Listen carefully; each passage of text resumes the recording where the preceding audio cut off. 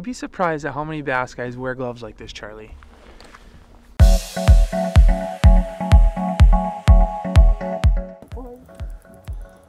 You don't get small when you do that. 10 pounder! You like these things, eh? Just leave him right there. Oh my god. guys, guys, I, I got it. I got it. Guys. There's a good one, eh? And finding these isolated reefs here and what was ice out maybe a week and a half ago, something like that. And uh, these fish are so concentrated right now and to come out here and being nice, what, four pounders maybe, four, hopefully, yeah. yeah. It's pretty fun. We're up in uh, Rainy Lake right now. We're trying to find real small ones. The big ones don't really seem to produce as many. Uh, may- I mean, Mike's done it quite a bit too, so uh, kind of 10 foot rises and finding these nice flats on top of the top of the reefs here. And right now, what are we? 22 feet, Yeah. 23 feet. It's going to be in that 20, 30 range. So.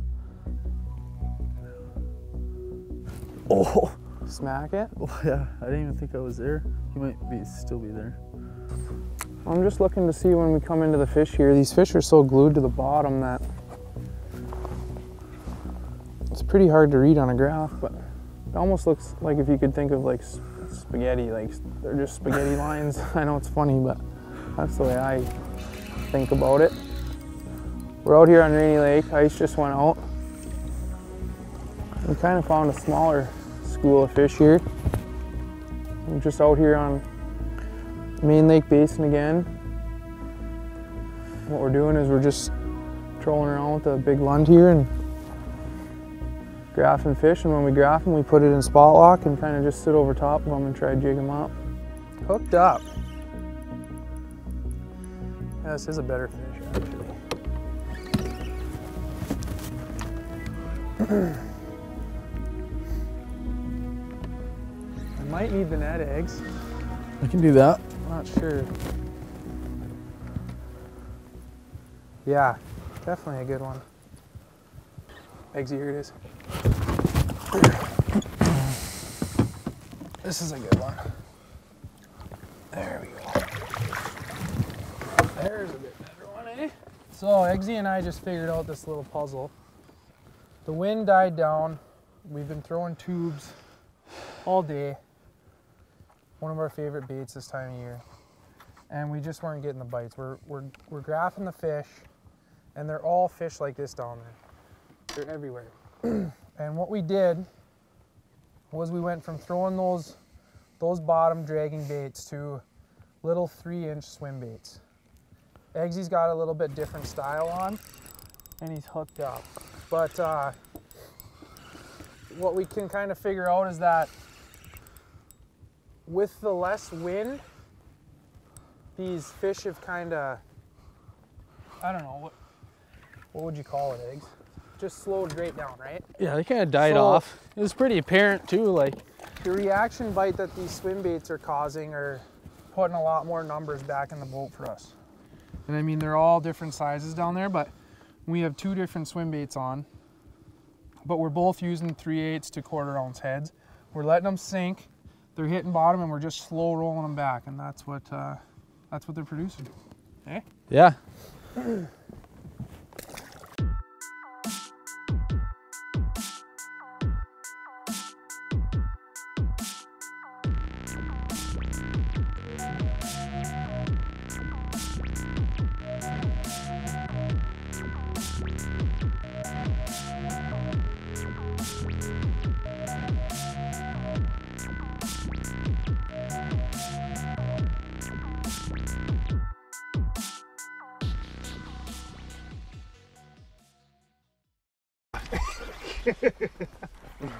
Oh, that one's like instant.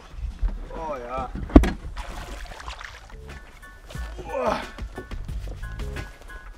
Mike's got a chunky one here. Yeah? Yeah. That's a sow. If you haven't done this, as soon as ice goes out, This is a riot. I mean, I don't even know how many of these we've caught so far today. And this one's actually been caught. Yeah, look at that. That's cool. Pract- That's why you practice catch and release, That is right? Yeah. Come back and. Those are awesome. How awesome. fun is that? Sweet. Oh! Missing them. Oh, jeez!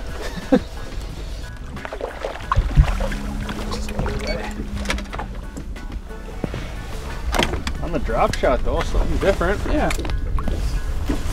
It's kind of fun to mix it up. There you go. I'd say we're into them.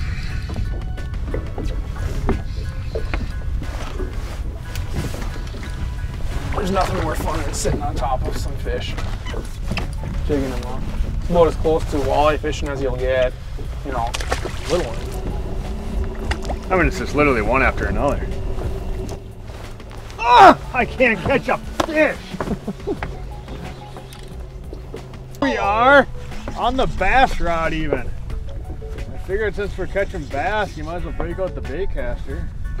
Oh, that's a big one.